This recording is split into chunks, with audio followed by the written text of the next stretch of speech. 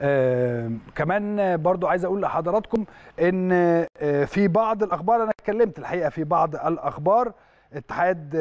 الكره بيقرر استئناف النشاط الرياضي يوم 21 سبتمبر الجاري اتكلمنا في هذا الامر في بدايه الموضوع لانه الحقيقه زي ما قلت لحضراتكم ان كانت الاجازه لغايه يوم 20 وابتداء من يوم 21 آه، سوف يستأنف النشاط الرياضي بقرار من اللجنة الثلاثية التي تدير الاتحاد